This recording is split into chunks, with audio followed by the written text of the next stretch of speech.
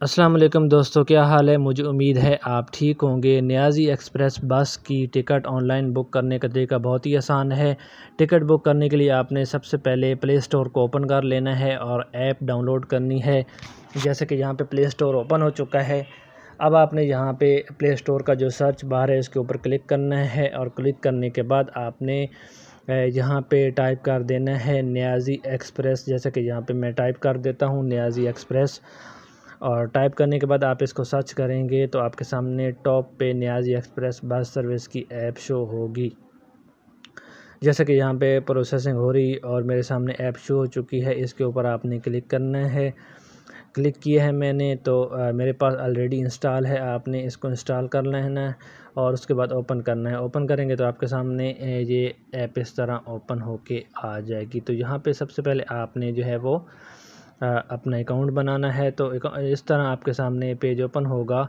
तो जहाँ पर आपने नीचे आना है, बिल्कुल और create new account sign up के ऊपर आपने क्लिक करना है और उसके बाद आपने अपनी सिंपल सी इन्फॉर्मेशन देनी है, यहाँ पे अपना नाम लिख देना है।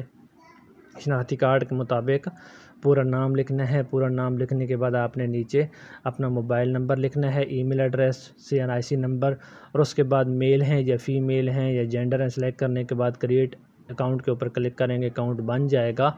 उसके बाद लॉगिन पे क्लिक करें और अपना मोबाइल नंबर जहाँ पे इंटर करें और जो पासवर्ड वहाँ पे लगाया था, वो वाला पासवर्ड यहाँ पे इंटर करें और उसके बाद आपने लॉगिन पे क्लिक करना है।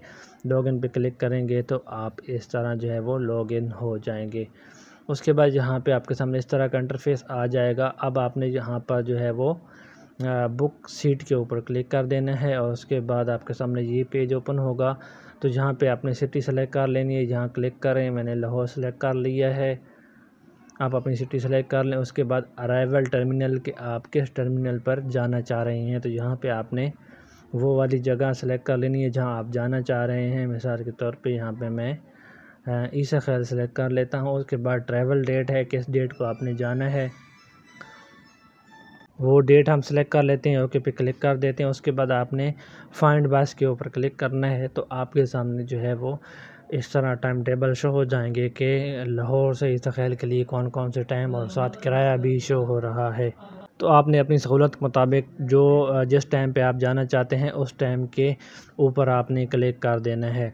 मिसाल के तौर पे मुझे जो पहला टाइम सूट कर रहा है दस बजे का, जो सुबह का टाइम है, दो हज़ार दो सौ रुपये किराया है। तो इसके ऊपर मैं क्लिक कर देता हूँ। क्लिक करेंगे तो आपके सामने लोडिंग होगी। अब आपके सामने सीटें शो हो गई हैं। आपने अपनी जो है वो यहाँ से सीट सेलेक्ट कर लेनी। जैसे कि मैं दस नंबर सीट सेलेक्ट कर लेता हूँ।